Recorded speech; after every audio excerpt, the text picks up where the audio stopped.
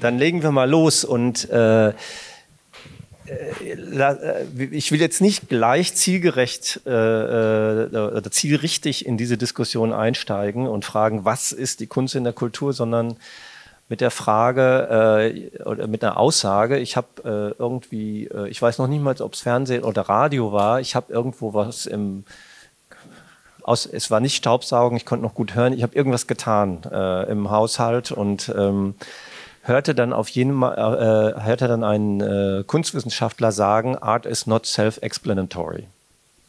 Und dann dachte ich impulsiv erstmal, ah, was erzählt der denn für Scheiß? Also ich gehe ja auch häufig durch diese äh, Ausstellung hier und reg mich darüber auf, wie wenig self-explanatory Art ist. Und dann habe ich darüber nachgedacht. Und ist es denn nicht eigentlich richtig, diese Aussage, dass die Kunst, die, neu ist, natürlich sich nicht selber erklären kann? Also ähm, ich glaube, ich ähm, soll jetzt antworten als erster. Ähm, äh, ich finde nicht, ich wollte so eben nicht antworten, ich finde, ähm, also ich arbeite viel im Theater und in der Musik, ich bin Inigo, ich mache ja die inszenierte Konzerte. Ich finde, ich mag nicht ähm, Dinge erklären, es ist nicht meine Aufgabe, es ist ja auch nicht die Aufgabe der Kunst, aber self-explanatory im Sinne von, es müsste sich schon an mich ähm, präsentieren und mich irgendwie quasi erzählen, was es von mir verlangt, das finde ich schon eigentlich. Also es geht gar nicht darum, irgendetwas zu erklären im Sinne von, jetzt muss ich dir irgendeinen Inhalt rüberbringen, damit man dann versteht oder nicht versteht. Aber ich finde, aber vielleicht ist es, weil ich mit sehr oder mit ungewöhnlichen Formaten arbeite. Ähm, ich arbeite ziemlich viel, damit Sie oder er, wenn Sie in irgendein Konzert kommen, nicht oder nur verloren sind in dem ich will, dass sie verloren sind und nicht einfach, dass man dieses Gefühl hat, okay, das verstehe ich wirklich gar nichts und ich weiß aber, aber auch gar nichts, wie ich da irgendwie reinkommen soll. Von daher, ich stimme nicht wirklich zu, diese Aussage, tut mir leid. Ja, ist es denn nicht so, dass Sie die Aufgabe dann haben, auch äh, oder sehen, darin sehen, äh, diese Inhalte zu erklären oder zu übersetzen, was ein Interpret ja im Allgemeinen tut? Ich finde, ich hasse dieses Wort erklären. Ich finde, man soll nichts, also ich muss nichts ähm, erklären. Also, was soll ich Ihnen erklären? Dann machen wir einen, einen Vortrag, da können wir gerne machen, aber das ist was anderes, ich finde. Wir kommunizieren. kommunizieren, okay, also ich könnte schon versuchen, dass, dass ich etwas vermittle oder ich, äh, irgend, aber erklären ist sowas Konkretes, Inhaltliches, wo man sagt, jetzt, also, das müsste jetzt so und so und dann erklären heißt auch, ähm, Sie können es verstanden haben oder nicht. Und dann ist das richtig oder nicht. Und da kommen wir so, geraten wir so langsam in einen Weg, was ich finde, das ist nicht der Weg. Da, dieses Gespräch will ich nicht, nicht aufmachen in dem Art und Weise. Manchmal kommen Leute und sagen, do, ich habe gar nichts von dem verstanden oder ich, hab, ich bin gar nicht reingekommen, ich war von dem verwirrt und so. Das nehme ich gerne an, äh, höre ich zu, denke ich drüber nach. Manchmal ist das einfach so. Ähm, aber dieses Erklären, ähm, kommunizieren. Ja, ja, sorry, sorry. Aber eben so dieses Self-Explanatory oder nicht Self-Explanatory, also Explaining ist schon ähm, erklären, ist nicht, ähm, also ja, weil, weil Sie haben jetzt Erklären als einen rationalen Akt äh, beschrieben. Erklären ist viel mehr. Das kann ja auch ein intuitiver Akt sein. Also mhm. äh, deswegen dachte ich, kommunizieren ist vielleicht der bessere Begriff als äh, die direkte englische Übersetzung. Äh, also irgendwie, wie man äh, verstehbar machen. Ja, das, das, das, darum geht es ja eigentlich. Man, man kann das auch ohne Erklärung machen.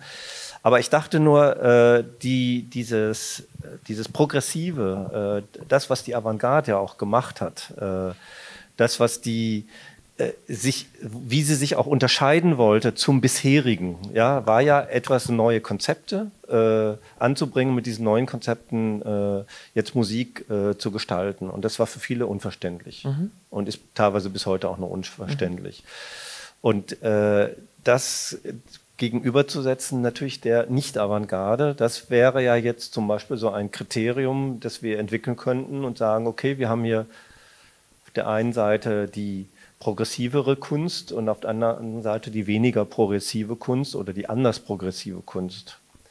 Und vielleicht richte ich jetzt auch mal die genau. Das habe ich befürchtet. ähm, ja, ähm, ich würde sagen, es gibt Kunst und es gibt keine Kunst. Und ähm, entweder scheint die Essenz dieser Sache auch durch und dann bedarf es keiner Erklärung. Es ist klar, es ist da, es ist vorhanden. Man hat es erfahren. Ich würde eher Erfahrung sagen. Also entweder haben, hat man es kollektiv in dem Raum wirklich erfahren, was passiert ist, oder eben nicht. Da die ganzen Konzepte, die dazu verwendet werden, um etwas näher zu bringen. Ich glaube, dass das eine Sackgasse ist. Ich glaube nicht, dass das irgendjemandem hilft und ich glaube auch, dass es vielen hilft, die die Essenz der Sache nicht unbedingt vor Augen haben, damit sie ihr Werk als Kunst verkaufen können. Das finde ich sehr gefährlich daran. Und ich benötige überhaupt keine Erklärungen für Pierre Boulez Orchesterwerke. Wenn es wirkt, dann wirkt's und wenn nicht, dann nicht. Ist, ist dann Kunst also in, in the, the eye of the beholder sozusagen, also in der, also muss, ist Kunst erst dann Kunst, wenn es gelingt quasi, weil ähm, das finde ich, ähm, äh, für mich hätte es schon was mit der Haltung, also mit welcher Haltung, aber da wird es schon sehr sozusagen rutschig, wenn man in die Vergangenheit reinschaut, weil vieles, was ähm, als heute als Kunst gilt, war schlicht und ergreifend Gebrauchsmusik oder verschiedenste Sachen. Ähm, und, und ich glaube, Musik speziell kann schon eine Karriere durchlaufen, quasi, wie es auch eben kontextualisiert und inszeniert wird und so weiter. Ähm, also ich habe einfach ganz subjektiv, intuitiv selbst das Gefühl, entweder ich habe es erlebt oder nicht. Ich kann es jetzt nicht für andere sagen. Ich weiß auch nicht, wie man deswegen Kritiken schreiben sollte zum Beispiel. Ich verstehe nicht, wie das geht. entweder hat man es erfahren für sich oder nicht. Wie kann man das für ein breites Publikum entscheiden? Ich, das macht für mich irgendwie nicht so viel Sinn. Und ich habe ich hab noch nichts Intelligentes zu beizutragen gerade. Okay. Ich weiß nicht. Dann versuche ich nochmal einen Impuls äh, weiterzugehen. Ähm ich versuche mal so einen kleinen Erfahrungsbericht äh, aus einer Musikhochschule zu berichten. Da geht es darum, dass äh, um die Ausbildung von Komponisten und äh, um die Frage, welche Rolle die Musiktheorie daran spielt. Äh, die die Musiktheorie, die äh, versucht, bestimmte Fähigkeiten den Studenten beizubringen, die aber sehr, also die alle nach hinten zeigen. Ich sage es mal ein bisschen provokant, aber ich denke schon, da ist äh, jeder versteht, was damit gemeint ist. Äh, und die stehen in Konkurrenz mit Fähigkeiten, äh, zum Beispiel Programmieren. Ja? Also entweder dürfen die Studenten Musiktheorie lernen oder sollen oder sie dürfen äh, äh, Programmieren lernen. Und äh, hier, da tut sich ja so ein Graben auf, der auch, die, wenn man die gesamte Musikhochschule betrachtet, da wird, wird ja ausgebildet der Musiker, der halt äh, existierende Partituren äh, äh, interpretiert und, und äh, oder bis zur Renaissance, also bis zur ganz alten Musik, äh, äh, versucht mit dieser Musik zu interagieren und dann wiederum andere Musiker oder auch äh, Komponisten zum Beispiel, die jetzt äh, erstmal gar nicht so weit zurückblicken, sondern eher nach vorne blicken. Und da habe ich das Gefühl, da ist eine Institution, die geht mit Musik um und die unterscheidet sich in die einen, die nach vorne schauen, die einen, die nur zurückschauen. Mhm. Äh, das ist doch ein bisschen erschreckend, oder? Achso, Entschuldigung. ähm, ja, das finde ich auch schrecklich. Ähm, ich finde, man sollte beides können. Und man sollte auch, ähm, das ist eigentlich nur Handwerk. Man sollte ein Handwerk beherrschen, damit man äh, Ausdrucksmittel hat, damit man überhaupt dazu kommt, sich auszudrücken und ähm, wirklich keine Grenzen dann für sich hat. Also wenn man programmiert, dann programmiert man ja nicht, das ist ja nicht, ähm, das ist wie eine Taste anschlagen beim Klavier. Es ist aber auch nicht mehr. Es ist ein Mittel zum Zweck. Und was man damit macht, ob dadurch wirklich etwas erreicht wird, was man als Kunst benennen kann oder was die Person, die das macht, auch selbst als Kunst erfährt, das ist dann immer noch äh, frei. Und deswegen sollten eigentlich alle alles machen. So. Das fände ich schön. Ergänzung. Ich finde, oder so war es in meiner Erfahrung, die schönsten ähm, Unterrichten, die besten Unterrichten sind die, die auch wenn sie Renaissance Contrepoint äh, unterrichten, nicht wirklich nach hinten schauen in dem Sinne. Also, sondern äh, das Thema ist irgendwie ist immer aktuell. Ich habe viel ähm, zu tun gehabt dieses letzte Jahr mit sehr vielen Leuten, die ähm, sehr technisch begabt sind und sie machen immer sehr viele Musik und so. Und da habe ich aber erfahren, wie das ist eigentlich tatsächlich, wenn Musiktheorie dann fällt. Also und sie sie äh, kämpfen wirklich äh, mit dem. Äh, und ich habe sehr gute Erinnerungen von gewissen Musiktheorieunterrichten, wo ich wirklich ganz stark widersprechen würde, das ist Ruck ähm, schauend. Das ist das, weil, also ja, die Musik ist ja alt, das können wir nicht ändern, aber unsere Rezeption von dieser Musik und unsere Art und Weise über diese Musik zu denken und so, das ist, ändert sich auch. Und das kann ziemlich aktuell bleiben. Und ich würde sagen, also es gibt so dieses Zitat von Borges und so, wenn etwas 70 Jahre alt ist, dann ist es wieder neu. Und dann, wenn es wirklich 500 Jahre alt ist, ist es wirklich erschreckend neu manchmal. Ja. Ja, wir erlauben uns ja auch wirklich eine, eine, eine Musik, die, äh, äh, in der wir jede Zeitscheibe von 500 Jahre bis zum Jetzt äh, äh, konsumierbar haben, im Radio äh, gespielt wird oder im, äh, die wir kaufen können oder in Spotify oder wo auch immer. Äh, Zugriff zu haben. Also wir sind umgeben von einer noch nie so poly, also polyästhetischen Situation, also die uns ja eigentlich erstmal so ein bisschen schizoid machen könnte. Also wo äh, wo, wo, wovon fühle ich mich angezogen, wofür kämpfe ich als Künstler, was, äh, wo, wo finde ich mich auch wieder in äh, teilweise auch traditionellen Stilen. Ähm. Außer Nicken keine. nee, da, ja. Da, nur, nur, ich habe auch schon viel zu viel geredet, aber ich glaube, ich habe eine gute Frage für Michael. Nein, weil äh, tatsächlich die, ähm, äh, wie du gerade gesagt hast, die, die, durch, die, durch die polyästhetische Welt, äh, Musikwelt, in der wir leben, ist, lösen sich für mich auch, und das zeigt sich, finde ich, auch also am Streaming oder so, wie, äh, dass man mehr in Playlists denkt und weniger in Alben oder in sozusagen in, in, in, in, in wo liegt das im Plattenladen, ähm, dass sich sozusagen dieses, diese, diese Zeiten auch auflösen, dass sozusagen Musik eigentlich nur noch Material wird. Und dann ist es eben tatsächlich die Frage, kann das was heißt nur, Musik ist dann Material und dann ist die Frage, können wir als Musiker das künstlerisch, das Künstlerische darin zum Ausdruck bringen? Und dann ist, gelingt das oder gelingt das eben nicht? Und ähm, ich fand ja immer, äh, Michael, du hast ja äh, Kaleidoskop, Solistenensemble Kaleidoskop gegründet und für mich war das immer so das erste, was, das erste Beispiel, es ist ja schon zehn Jahre her oder so, äh, wo so mit Musik umgegangen wird. Natürlich gibt es schon bestimmt schon viel länger, aber ähm, in meiner sozusagen Biografie war das so ein, so ein, so ein Impuls und ich habe das Gefühl, jetzt deine Arbeit ist noch radikaler auf so, eine, auf so ein Fundament runter reduziert.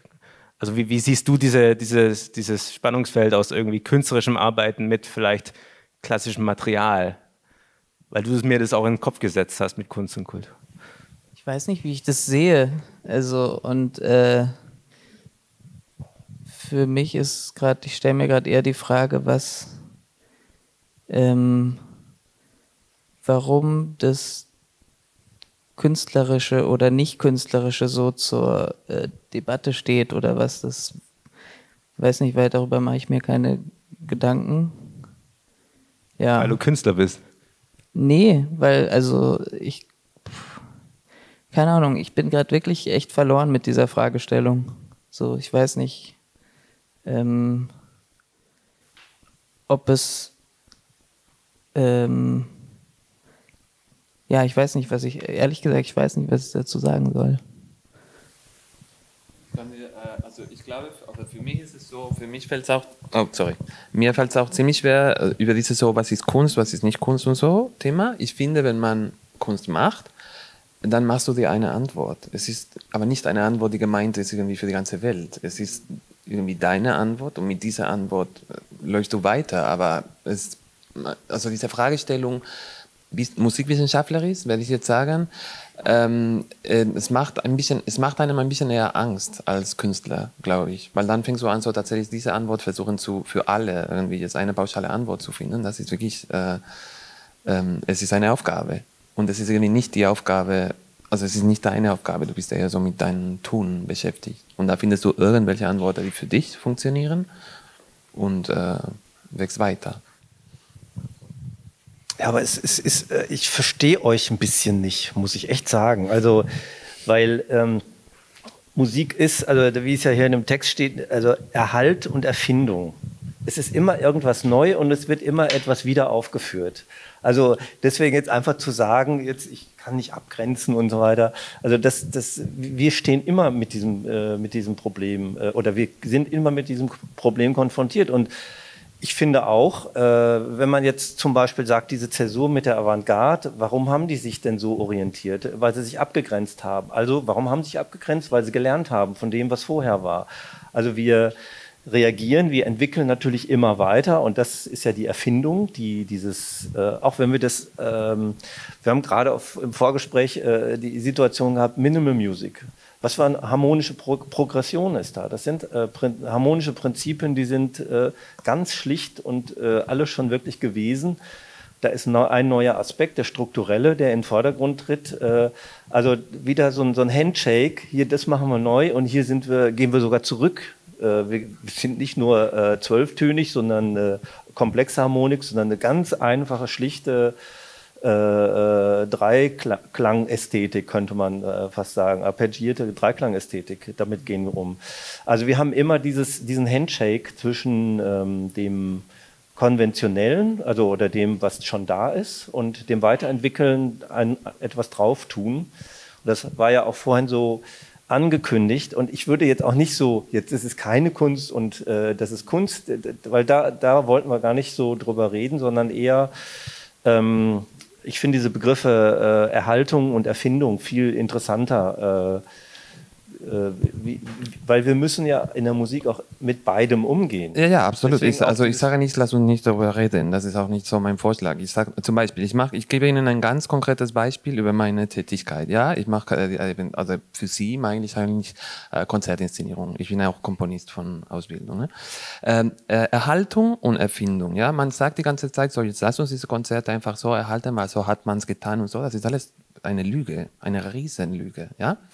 Äh, wir haben Briefe von Clara Schumann, wo Clara Schumann sagt, äh, dieser Konzertveranstalter will, dass ich äh, Kreisleriana spiele am Konzert. Das geht gar nicht, auf keinen Fall äh, werde ich Kreisleriana spielen können. Und wenn überhaupt irgendwelche Nummer, weil das ganze Lied zu spielen, das geht gar nicht. Das machen wir die ganze Zeit jetzt. Also Erhaltung wäre, wir sagen, Kreisleriana spielt man im kleinen Kammer mit 15 Leuten, die Fans von Robert Schumann sind, bei der, bei der Abenddämmerung. Aber das, das wäre Erhaltung, aber das wäre Erfindung auch. Von daher, also, wenn ich anfange, so diese Kunst-Kultur-Dualität, ich kriege so ein bisschen Vertigo und dann denke ich, das ist nicht meine Aufgabe. Deswegen, also, diese Abgrenzung fällt mir ein bisschen schwer, weil in, in diesem Bereich, wo ich zum Beispiel arbeite, und Sie reden natürlich auch viel von den Avantgarde und so, aber das sind jetzt vor 100 Jahren. Dieser Bruch, was wir hatten, das ist jetzt 100 Jahre alt. Und ich bin im Moment eher beschäftigt, äh, Brücken äh, zu bauen oder so. Mir genug schon diese, diese Bruch. Von daher, also weil Avantgarde äh, nimmt man so in den Mund dieses Wort und es ist wie hier, aber es ist wirklich 100 Jahre alt mittlerweile. Und dann sind wir andere Gründen. Und ich finde dieses Thema hochst spannend. Ich finde, wahrscheinlich müsste man nicht ähm, die armen Künstler, die sich auf ihre persönliche Art und Weise damit beschäftigen. Also die sind nicht die, die kriegen vielleicht nicht die beste Antworten, sie kriegen persönliche Antworten, aber vielleicht nicht die schönsten. Äh, aber auf keinen Fall meine ich damit zu sagen, so jetzt lass uns dieses Thema nicht äh, besprechen oder so. Nur, also so geht's mir. Ich weiß nicht, wie es euch damit geht. So.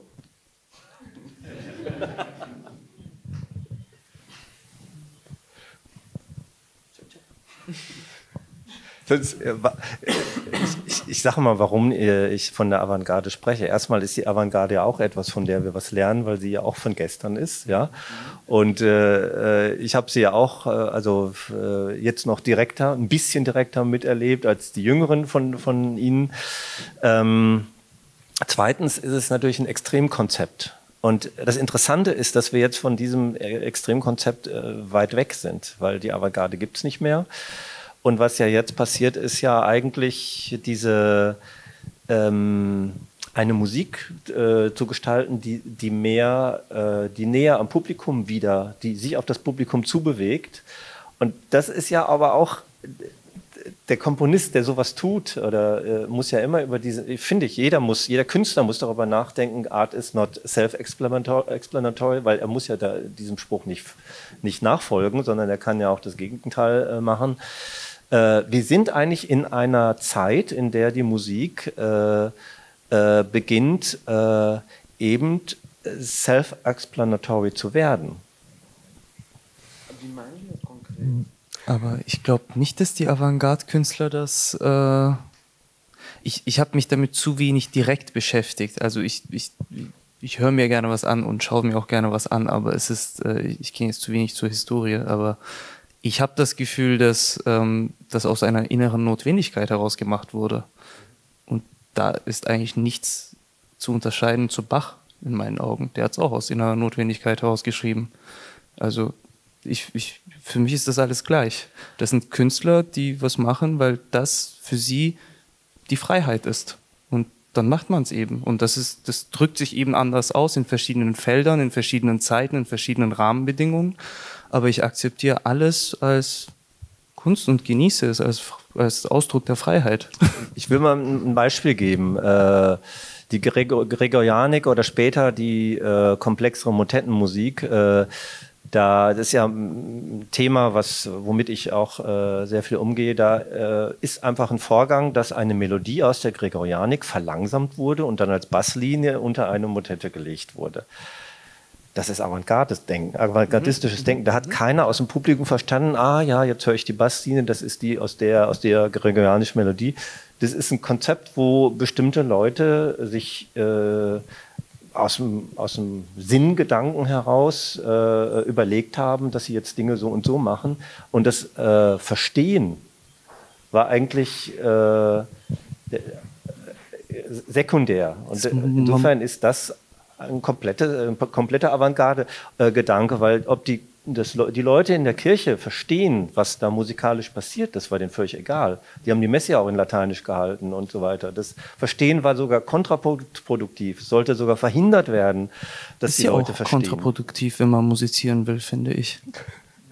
Zu viel Verstehen steht im Wege. Das, das verhindert die Intuition. Ich glaube, das, das hält viele Musiker auch äh, davon fern, dass man wirklich im Moment musiziert, sondern man versteht dann viel, weiß dann genau, wie das in Relation zu sonstigen Aufführungen ist und versucht sich dann zu platzieren. Das ist dann aber nicht aus dem Moment heraus, das ist nicht musizieren. Mhm. Was habe ich gemacht? Äh, ne, vielleicht war das ein bisschen so dieses Thema mit diesem Erklären und dieses, dieser Begriff, der die ganze Zeit auch da ist, von diesem Verstehen, im, ein bisschen so in einem logischen Sinne, ne? dass ich verstehe, wie, diese, wie Nuper Rosarum Flores zum Beispiel gebaut ist, äh, dass es gebaut ist mit diesen, ähm, äh, wie sagt man, Ratios von dieser Kirche oder das, ähm, und ob das tatsächlich sein müsste. Ähm, weil ich glaube, das war auch so etwas, was im 20. Jahrhundert ziemlich selbstverständlich geworden ist, dass es, äh, also es hatte auch so mit der Art von Analyse zu tun äh, und so, dass man gedacht hat, aha, man muss verstehen. Zum Beispiel diese Senker-Analysis war so ziemlich prägend dafür, so, so ist dieses Stück, so, Punkt, Schluss, bis zum Ende analysiert und bravo. Und das war's. Ähm, und das ist natürlich die Frage, ob es tatsächlich so äh, bleibt oder ob dieses Verstehen so wäre. Und man hat auch andere Leute, die analysieren, wie Charles Rosen oder so, die dann eher so kontextualisieren und in Zusammenhängen setzen und die auf eine andere Art und Weise und nicht erschöpfende Analysen ähm, durchführen, die für mich äh, viel interessanter sind. Oder Dieter de la Motte ist auch jemand, der so zum Kopf kommt, der ein bisschen so in diese Richtung.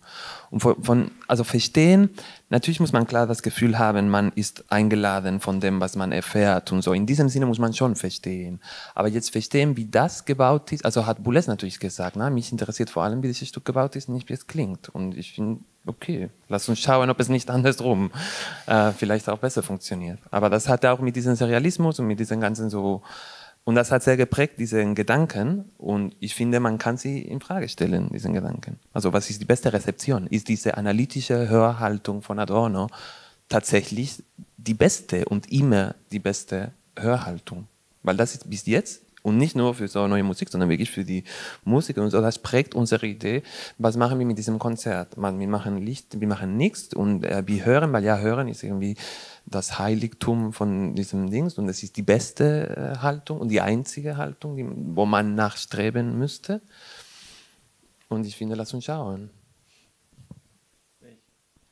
Ähm, ich glaube, eine spannende Entwicklung, ähm, die Entwicklung des Konzertes in den letzten, sagen wir, 200, 300 Jahren, ist ja eine Entwicklung der ähm, immer weiter fokussierten Aufmerksamkeitssteigerung auf Musik, also die Verabsolutierung von Musik. Und das ist ja eine, eine, kulturelle Entwicklung primär und keine, also auch schon künstlerisch getrieben, aber vor allem ja mit dem aufsteigenden Bürgertum und so weiter, als Ersatzreligion, als Identitätsstätte und so weiter.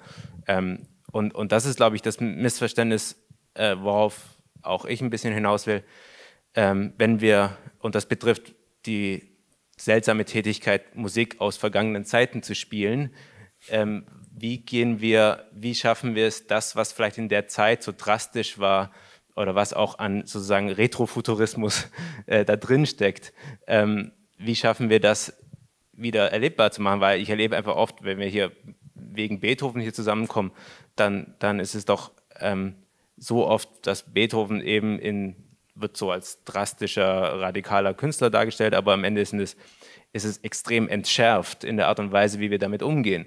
Und, und nichts von dem, was da an Sprengstoff drin ist vielleicht, äh, wird erlebbar. Und das ist das, was ich ein bisschen meine mit dieser, mit dieser äh, Ver, Verkulturalisierung von Repertoire, dass es sozusagen einfach zu Inventar wird und, und nicht mehr das hat, was es, was, was es ausmacht, nämlich ähm, äh, krasse Kraft. Und äh, das ist das, was ich, wie gesagt, erstmals äh, mit als erstes bei Kaleidoskop damals, aber dann auch bei, bei vielen anderen und dann bei deiner Arbeit und bei so, also wie, wie geht man mit diesem Material um, auch im zeitgenössischen Kontext? Was soll ich dazu sagen? das ist halt interessant, äh, aber ich weiß nicht, was ich dazu sagen soll. Gibt's, äh, wenn ich, darf ich was fragen? Ja. Die, ähm, die heute Abend die Performance, ich finde, es ist schwierig darüber zu reden, aber ist da etwas, was, ähm, was man verstehen sollte oder müsste?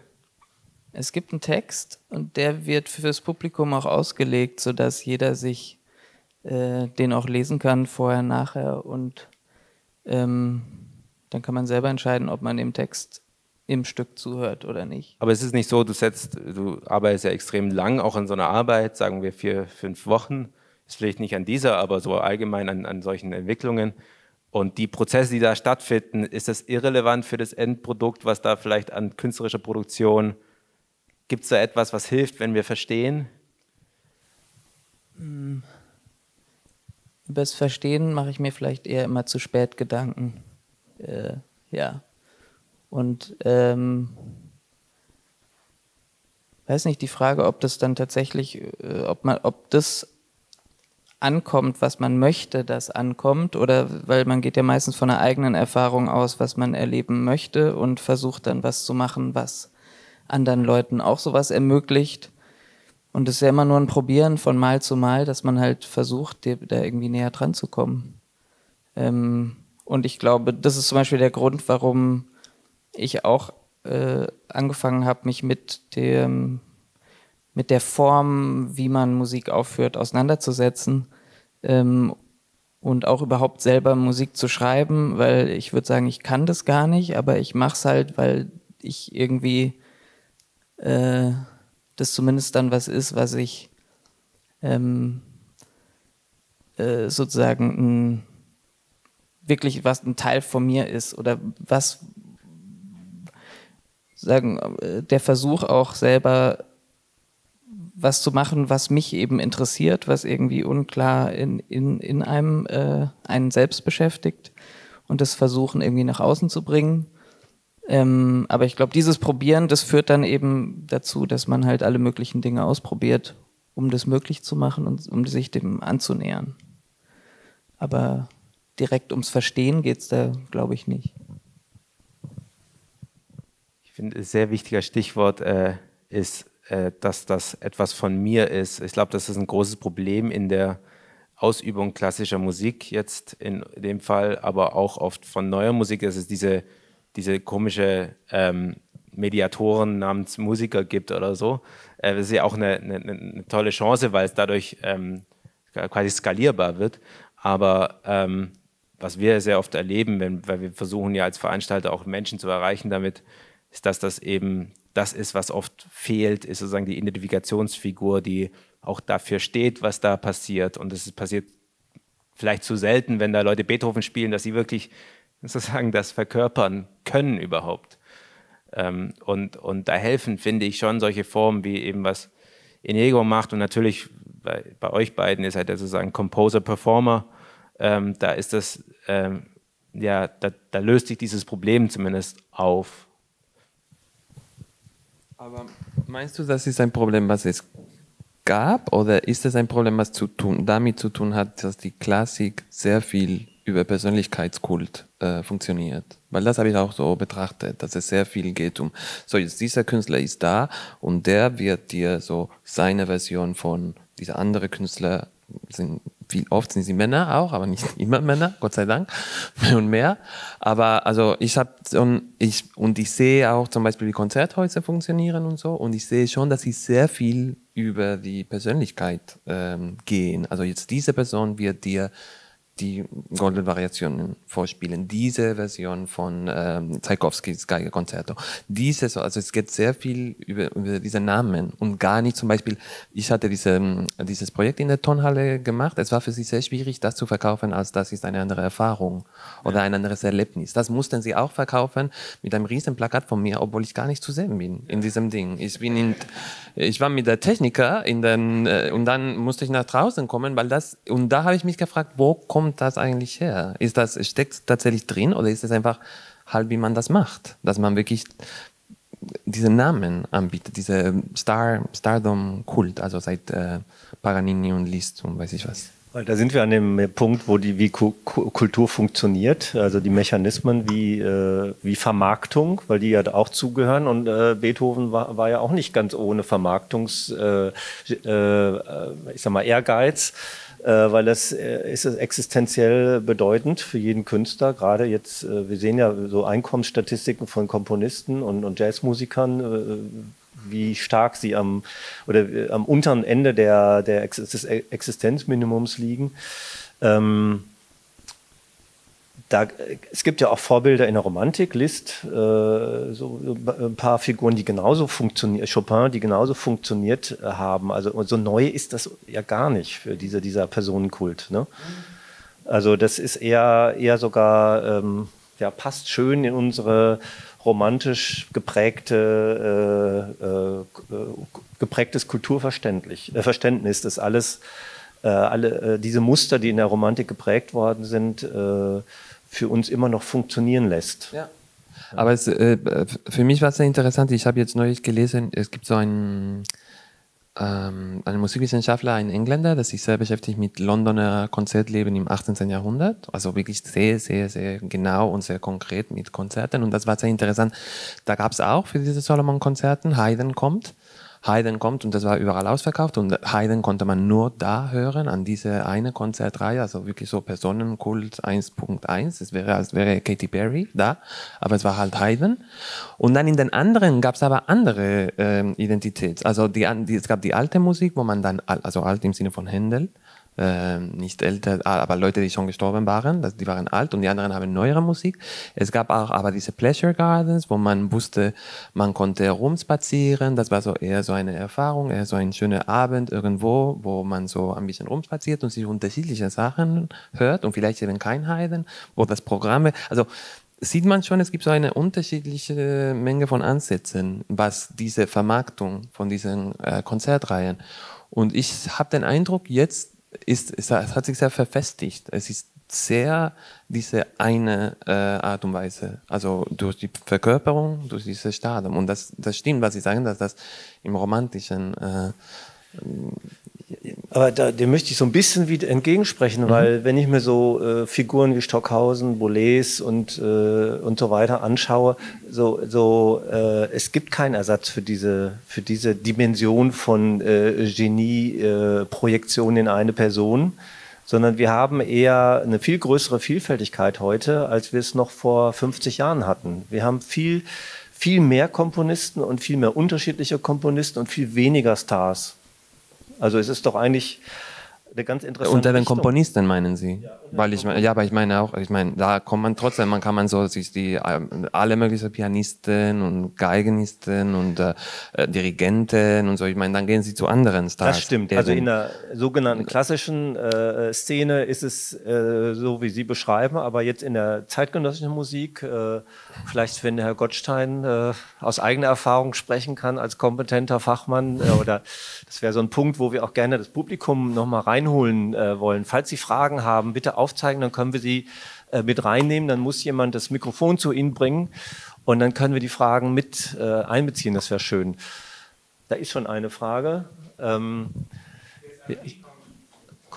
Mikrofon kommt, kommt. Äh. Jetzt an Sie konkret. Ähm, ich würde denken, dass in der Generation von Stackhausen und Boulez, das sind die Namen, die nicht zu den vielen gegangen sind. Haben wir das nicht heute noch genauso, dass wir die drei, vier Namen haben, die das überleben werden? Aber eine riesige Masse von Komponisten, war das nicht damals genauso? Und war nicht damals die Vielfältigkeit auch gigantisch? Wer macht heute schon noch aleatorische Musik oder sowas? Und auf der anderen Seite hatte man auch Leute, die Filmmusik gemacht haben. Also die Bandbreite ist doch eigentlich genau dasselbe, oder nicht? Es gibt nur ein bisschen mehr Elektronik also ich, verfügbar. Nee, ich würde, ich würde sagen, es wird heute viel mehr, äh, es gibt viel mehr Marktplätze, es gibt viel mehr Geld für Kultur, äh, es ist viel verteilter, viel kleinteiliger, wir haben viel mehr unterschiedliche Ästhetiken, wir haben nicht so die Einigung auf bestimmte große äh, Bereiche. Wir haben äh, ein abgestuft, also wollte jetzt nicht alleine reden, aber äh, wenn, wenn ich äh, wir haben abgestuftere Kulturproduktion, es gibt Filme, es gibt Werbung, es gibt so viele Sachen, die es vor, äh, ich sag mal, 50, 60, 70 Jahren noch nicht gegeben hat. Ich glaube eher, wir haben eine größere Masse an, an Kreativität, äh, die sich sehr stark verteilt. Allein schon, oder der große Unterschied ist, wir haben nichts, auf was wir uns einigen können. Das ist vielleicht so, äh, so platt gesagt der große Unterschied zu, zu der Zeit nach dem Zweiten Weltkrieg, wo so ein Einigungsprozess äh, in gewisser Maßen sich äh, stattgefunden hat. Und das, als Beweis kann ich dafür anführen, anführen natürlich, dass der Rundfunk äh, natürlich in diesem Business sehr stark also eigentlich der Hauptakteur war und in, äh, da sehr stark Meinungsbilden mitgewirkt hat und äh, mithilfe von Experten so eine Meinungsbildung oder auch so eine Verstärkung, seine Selbstverstärkung äh, äh, äh, provoziert hat. Und dadurch bestimmte äh, äh, Stile und Komponisten nach, nach, oben gespült wurden und andere, äh, die wurden rausgehalten. Während heute, glaube ich, erstmal diese, der Rundfunk selbst so ein bisschen einer von vielen Akteuren ist. es gibt den, den, den die, die, also die ähm, äh, Vervielfältigung in, in Industrie, Platten, CDs und so weiter. Das, das gibt es jetzt auch nicht mehr, wo dann äh, jemand Moderator ist, der dann halt sein aus den Eleven dann den, äh, den er jetzt fördern möchte oder die, die er jetzt fördern möchte, heraussucht. Äh, also viele Mechanismen sind eher, so ein bisschen peer-to-peer -peer gerichtet und nicht, äh, ich glaube, das andere hieß Business to Business oder irgendwie sowas war das. Also mehr an den, an die, an das Individuum, äh, an das Individuum. Ja, mit YouTube erreiche ich Individuen und das ging vor 50 Jahren fast noch nicht. Da konnte ich nur über eine CD, eine, eine, eine, LP oder nur über den Rundfunk gehen. Es gab keinen anderer Mechanismus und ich musste dann über die Filter gehen.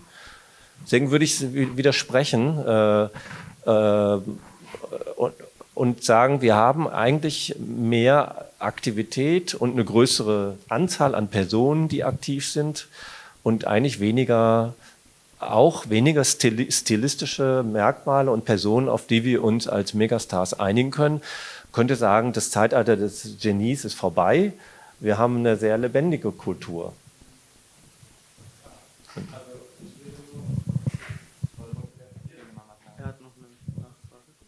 Aber das mit dem, dass das Zeitalter des Genies vorbei ist, haben die auch schon gesagt.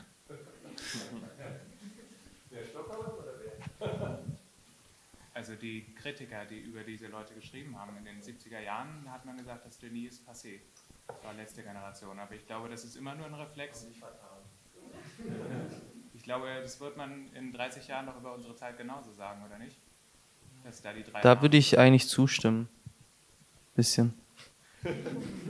Ich habe ich hab das Gefühl, also ja, es, es gibt deutlich mehr Menschen, die jetzt ähm, produzieren können. Ich glaube nicht, dass die Kreativität an sich zugenommen hat, sondern dass die Produktionsverfahren einfach deutlich einfacher geworden sind. Ich kann in einem Hotelzimmer mit vernünftigen Kopfhörern und meinem, meinem DSP-Rechner am Laptop, ich kann da eigentlich alles umsetzen, wozu man früher im WDR-Studio mit Stockhausen sitzen musste. Und das, das ist, glaube ich, der Hauptunterschied. Und was dadurch auch passiert ist, die, das Volumen an, äh, an Komponisten, Kreativen, die, die veröffentlichen, das ist wirklich unglaublich gestiegen. Aber die Einkünfte, die sind nicht proportional hierzu gestiegen. Deswegen hat man auch wiederum dann die niedrigen Einkommenszahlen, die dann belegbar sind.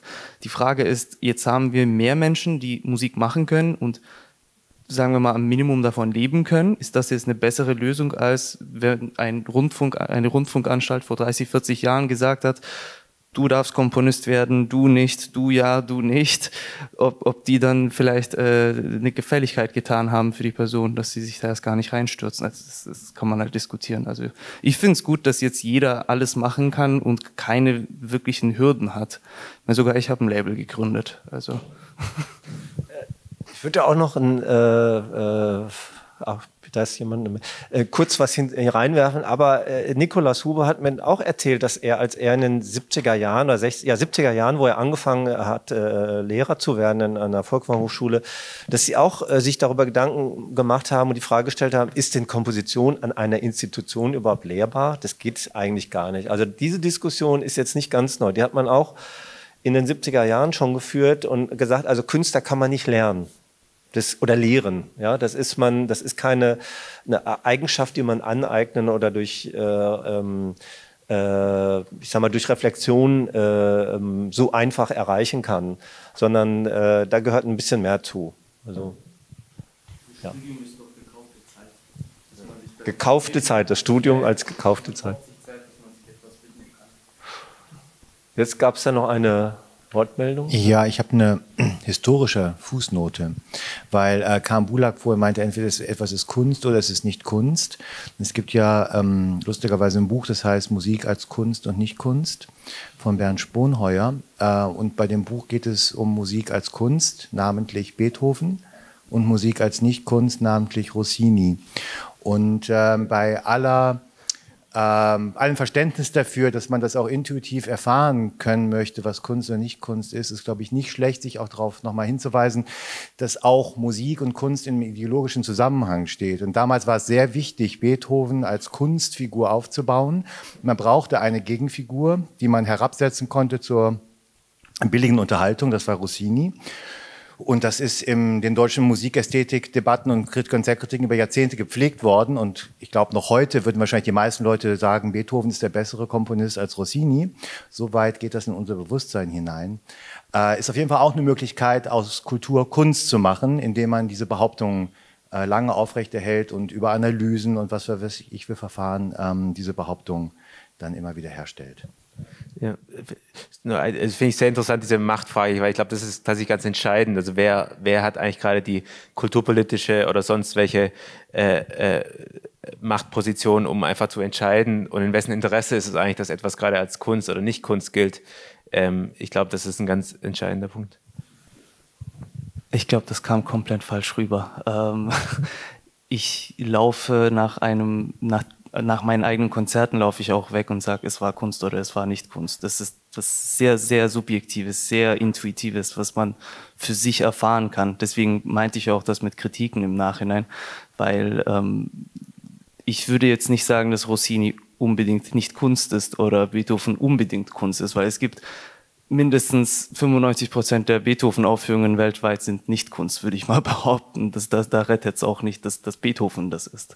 Also das, das ist wirklich in dem Moment und sehr, sehr subjektiv und man kann auch mittags ein Konzert spielen, abends ein Konzert spielen. Das eine ist Kunst, das andere ist nicht Kunst. Und ich glaube, dass solche Kunstmomente akkumuliert dann eben irgendwann Kultur ergeben können, wenn das eben eine breitere Masse dann wirklich kollektiv erfährt. Das wäre dann wiederum zu der äh, Anfangsfrage. Ja. Ja, aber, aber dann sind wir jetzt wirklich von weg von dem äh, Punkt, von dem es ausgegangen ist, weil es hieß ja Kunst versus Kultur. Ja, und das fand ich eigentlich schon einen richtigen ein, ein Ansatz, anders als in der Überschrift, weil, das, weil, weil damit werden ja bestimmte Unterschiede geschärft, um die es jetzt auch immer ging. Na, also ein bestimmter Anspruch, eine bestimmte äh, Freiheit äh, und eine bestimmte Distanz von äh, Kommerzialisierungsmechanismen, von Starkult und so weiter. Also da wurde ja diese, und dieser Unterschied immer aufgerufen. Na, dann sagen wir, das ist nicht unseres, sondern wir sind auf der Seite der Kunst jetzt in dem Fall. Na, und deswegen verstehe ich nicht ganz, äh, ich meine, dann, also ich verstehe, dass sie dann, dass dann die anwesenden Künstler dann sagen, äh, wir haben für bestimmte Fragen einfach kein Verständnis, da haben wir nichts dazu zu sagen, weil wir natürlich nicht erklären wollen, weil wir natürlich äh, keine Rechenschaft ablegen müssen, weil wir ja eben Kunst machen. Also wie gesagt, der, der Begriff ist es. Und jetzt aber finde ich sonst nicht mehr ganz nachvollziehbar, wenn Sie dann sagen, ähm, wenn Sie dann berufen auf Mechanismen der Rezeption, die ja gerade eben kulturaffin sind. Also sich dieses zurücklehnen und sagen, ähm, es war eben gut oder war nicht gut und äh, es, komm, es muss intuitiv rüberkommen und ähm, alles darüber reflektieren ist falsch und äh, man, äh, es, es, es geht nicht um Verstehen und so weiter. Dann spielen Sie wieder genau das Spiel der Kultur mit weil genau das ist, die, das ist die, das Mechanismus der Kulturindustrie, dass sie sagen, das kann jeder und es ist demokratisch und alle dürfen und Rossini und Beethoven stehen auf derselben Stufe, weil es ja alles schöne Musik ist. Das ist das Spiel der Kultur. Das würde ich als Künstler nicht mitmachen, sondern ich würde sagen, da äh, bestehen wir auf einer Differenz, da bestehen wir auf einer Differenz des Anspruchs, der Differenz des wirklich auch des Verstehen müssen. Übrigens, gerade bei Beethoven kann man, das, äh, kann man, kann man diese Geschichte sehr schön erzählen, weil ähm, in die, die späten, äh, ich habe mich damit beschäftigt, weil ich selber einen Vortrag halten muss über Beethoven und Freiheit übrigens. Äh, und da äh, kann man nämlich nachlesen, diese, diese Geschichte, dass die späten Streichquartette nicht mehr verstanden worden sind und dass er da die vor für sich allein, das stimmt gar nicht.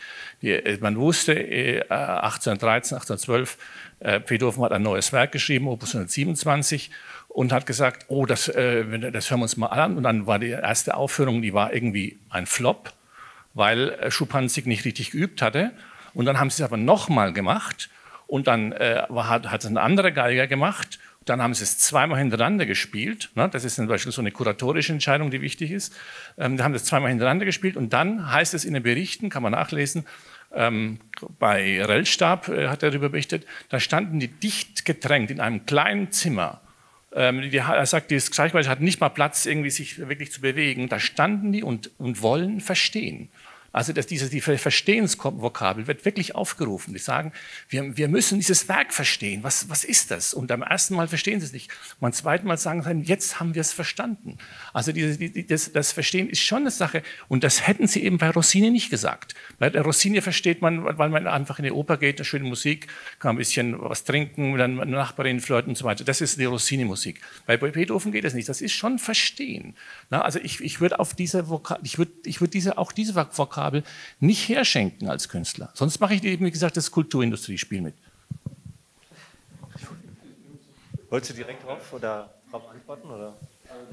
Ich, ich, wollte noch einen äh, Aspekt dazu äh, sagen. Wir hatten ja, also ich darf ja an, an äh, im Gegensatz zu diesem Genie äh, äh, zu Joseph äh, Beuys bemerken, jeder Mensch ist ein Künstler. Erstmal die nochmal in Erinnerung bringen, weil äh, diese schaltet erstmal jeden Mechanismus aus, ne, dass irgendjemand irgendwas bewerten darf, sondern das ist, äh, das lässt das Bewerten tut, äh, findet auf einer individuellen Ebene und auf der äh, Ebene des Machens äh, statt und nicht der Rezeption. Jeder Mensch ist ein Künstler. Es ging ihm darum, dass jeder Mensch Kunst, äh, äh die Erlaubnis hat oder die, die, die, äh, ja, die Erlaubnis hat, äh, haben sollte, äh, Kunst machen zu können. So. Und, und dieser, diese ganzen Filter, du darfst nicht, du darfst und wer, wer überhaupt bestimmt, wer darf und wer nicht, die gibt es alle gar nicht. Also das finde ich erstmal eine ganz wichtige politische Aussage, auch eine Neubewertung der eine kulturelle Aussage, dass eben, als Beuys das gesagt hat, nach dem Zweiten Weltkrieg, dass diese die Mechanismen, die wieder erstarkt waren und diese starken ähm, äh, Eliten auch, die äh, sich äh, entwickelt hatten, dass die auch ausgeschaltet werden. Die zweite Aussage ist, ähm, dass die Konstellation von, von Künstlertum, also äh, die Bewertung zum Beispiel von solchen äh, Persönlichkeiten, das Genie und so weiter. Das ist ja immer, die Künstler tun ja auch immer so, als ob sie äh, äh, alles richtig gewusst haben, wie es geht. Und alle anderen waren blöd und haben es nicht gewusst, wie es geht. Stimmt ja gar nicht, weil, weil das ist ja eine gesellschaftliche Konstellation. Man einigt sich auf bestimmte Kriterien oder, oder man einigt sich eben nicht. Und dann äh, und das geht nicht vom Künstler aus. Das macht der Künstler nicht. Der, der stellt diese Kriterien, diesen Konsens, diesen gesellschaftlichen Konsens nicht her, sondern das ist ein Prozess, der in der Gesellschaft existiert. Und jeder Künstler gibt Angebote hinein und dann äh, äh, versteht er einige äh, besser, diese Angebote auch ein bisschen vielleicht zielgerichtet sogar zu lesen. Und äh, insofern ist dieser, dieses Avantgardistische, was Beethoven da auch äh, äh, mit seinen letzten Streichquartetten äh, äh, ja, so injiziert hat in die Gesellschaft, ja aber auch nur möglich auf der Tatsache, dass er eine Autorität hatte, äh, die er sich aber auch, äh, also er hatte Glück, also dass er auch bestimmte äh, ähm, Konstellationen erlebt hatte, in der man ihn als Autorität hat, äh, also hat sich heranbilden äh, lassen. Also damit will ich sagen, das ist, das ist ja nicht so, dass ein Komponist alles über seinen Werdegang bestimmt. Das, das ist ja das ist ja ein ganz komplexer Prozess aus Umgebung, äh, Kontext, Kontext, Weiterentwicklung, den wir alle überhaupt nicht verstehen. Ohne Mendelssohn jetzt. Und jetzt ist Bach irgendwie immer der Vater von allen und Bach war eine ganze lange Zeit gar nicht da, bis Mendelssohn da war. Und Mendelssohn behauptet hat, so, lass uns denn mal anschauen. Ähm, ich wollte nur ein paar Sachen, wo ich mich sicher falsch ausgedruckt habe. Ähm, also, ähm, es geht mir gar nicht darum, äh, ich versuche diese Star-Kult und sowas, versuche ich nicht zu bewerten, das versuche ich zu beobachten, weil ich muss mich ja in diesem Bereich bewegen, dann schaue ich mich so rum und ich ähm, denke ein bisschen drüber nach. Ich versuche es jetzt nicht so krass zu bewerten. Und es geht mir gar nicht darum, dass man gar nicht reflektiert oder gar nicht äh, sich unterhält über die Sachen, die ich äh, im Angebot stehe. Gar, gar nicht drum. Ähm, wie ich gesagt habe vorher, müsste man schon ähm, äh, dieses Verstehen müsste das sein. Nur wie ich es erfahren habe in meinem Leben, ist dieses Verstehen ähm, zu etwas Logisches gemacht worden, was relativ getrennt ist von dieser Erfahrung, wo ich ähm, irgendwas sehe bzw. höre und dann kriege ich irgendeinen Text. Oft kriege ich es wirklich gar nicht zusammen und da, dagegen habe ich mich ein bisschen so rebelliert, irgendwann, wo ich gesagt habe, okay, ja, das ist ja eine, eine extreme so theoretische Konstrukt, der vielleicht ganz interessant ist an sich, ist, ist es oft, wo ich diese Verbindung mit dem, was ich jetzt gerade hier gesehen habe, gar nicht verstehe, wo ich von dem, was ich gesehen habe oder gehört habe, überhaupt nicht zu dem käme, und das ist für mich irgendwann ein Problem. Ich finde schon, deswegen finde ich, äh, Alps müsste, äh, also Kunst musste schon self-explanatory sein, indem es sich zu mir irgendwie zeigt. Das heißt es nicht, es erschöpft sich. Das passiert manchmal. Wenn die Sachen so selbstverständlich sind, manchmal erschöpfen sie sich und dann denkt man so, ja, habe ich verstanden, um was. Und das ist dann eben nicht so, äh, das ist nicht auch Kunst, das ist nicht, was man sagt. Aber diese reine Verbluffung, wo man einfach da steht und denkt, was? Ist auch irgendwie nicht, ähm, also für mich ist nicht so, was ich suche in der Kunst. Und das ist schon teilweise, was man gesucht hat in der Avantgarde. Also tatsächlich diese, ähm, wie sagt man diese Polemik. Tatsächlich so diese, so, jetzt äh, habt ihr dies und dies gesehen und jetzt, also da das zum Beispiel ganz, ganz klar, jetzt äh, verzichten wir auf das alles und diese ganze Erwartung, die man hat, jetzt äh, gelten sie nicht mehr. Ähm, und das ist natürlich einfach die Frage, ob es so bleiben soll. Aber das heißt gar nicht, ähm, ich bin ziemlich relativistisch. Das heißt, ich mag dieses Gespräch, dass wir darüber reden, warum soll Rossini schlechter sein. Ich finde es ein gutes Gespräch eigentlich, weil wie gesagt, wie, wie viele Bachs haben wir noch im, im Schrank und wir kennen sie nicht? Weißt du, ich habe neulich, hat mir eine Freundin gesagt, die ist sehr äh, so feministisch eingeprägt und so, ähm, sie hat mir so eine Menge von Frauen gezeigt am Anfang vom 20. Jahrhundert und ich könnte Ihnen nicht sagen, wieso sind diese Frauen nicht mehr, äh, nicht bekannter? Wieso werden diese Werke nicht ähm, gespielter? Wieso kenne ich nur so Ravel und Stravinsky und so? Und ich wusste nicht mal, dass es eine Lili Boulanger gab und dass sie geschrieben hat und dass es ziemlich schön ist, was sie geschrieben hat. Und noch eine, die ich nicht mal, jetzt kann ich den Namen nicht, aber ähm, ich finde, ein bisschen Relativismus äh, mag ich schon. Und es könnte, für, also für was wir kennen, es könnte tatsächlich gewesen sein, dass jemand diese letzten Stücke von Beethoven gehört hat und gesagt, der Mann ist taub. Und niemals wäre es dahin gegangen. Weil es braucht nicht nur ein äh, Zupfen, es braucht Leute drumherum, die, die diese Behauptung machen, dieser Typ ist ein Genie. Weil ansonsten bist du ein Verrückter. Und das ist tatsächlich manchmal der Unterschied. Also wenn keiner dich, dir folgen wird, dann bist du ein Verrückter. Und dann, wenn du aber etwas sehr Krasses machst und die Leute folgen, dann bist du ein Genie. Sorry. Ähm, ist genau, jetzt ist, entschuldige, dass ich äh, hier eingreifen muss, es ist Pause, lass, lass uns weitersprechen jetzt äh, und die Diskussion äh, zu zweit, zu dritt, äh, mit Kaffee und so weiter führen um 16 Uhr. Und noch vielen Dank für die Partizipation, das war sehr interessant und cool.